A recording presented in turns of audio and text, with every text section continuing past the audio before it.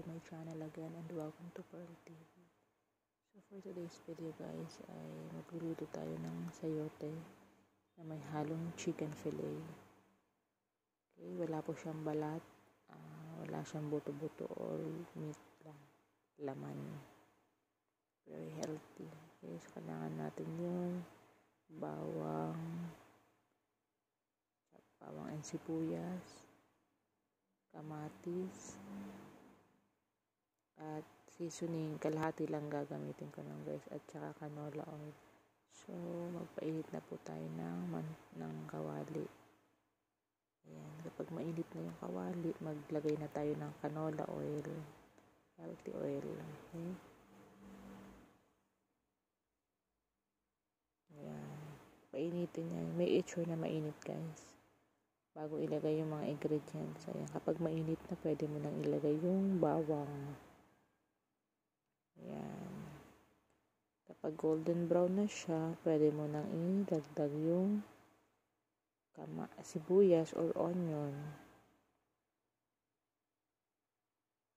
Ayan guys. Make it sure na mainit na yung kawali pag ilagay. Mabilis na siyang maluto. Ayan, golden brown siya. Lagay mo na yung sibuyas. Ayan. Kapag translucent na guys yung sibuyas, pwede mo nang idagdag yung kamatis.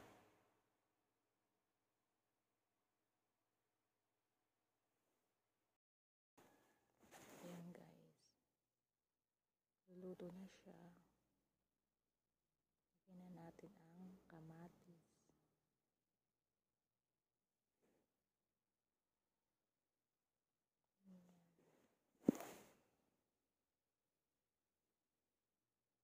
Luto na yung kamatis, pwede mo nang ilagay yung chicken fillet.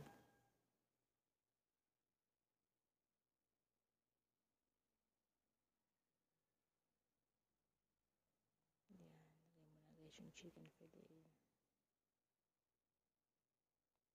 Stir fry mo lang siya.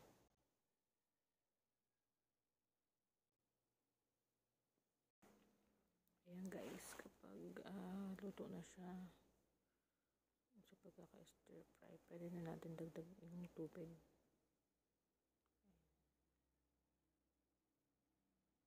Puro water na guys.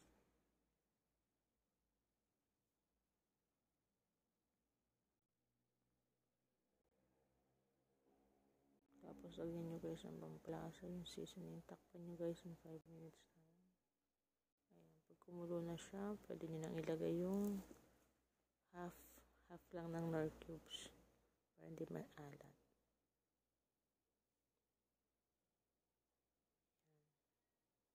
Lutuin nyo guys. Ayan.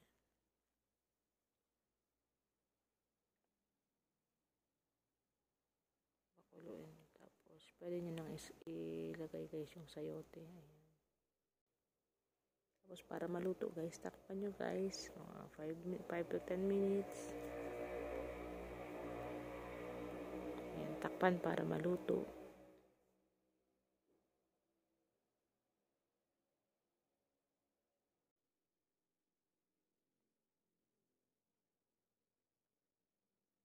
Cover to boil. Cover to cook.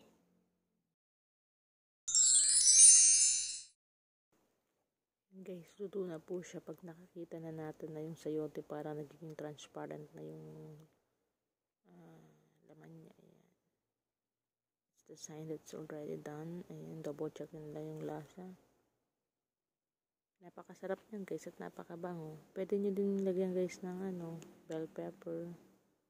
Napakabango din at napakasarap. Pero kahit ganyan, okay na siya. Masarap din. And also, you add um, uh, ground pepper. Ayan, mas pabango.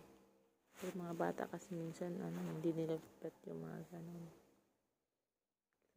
Pagluto na, turn off the flame na. Pwede na yung kain ko, guys. Ayan. May, may kapatong na leftover. Kainan time, guys. Thanks you for watching. Please don't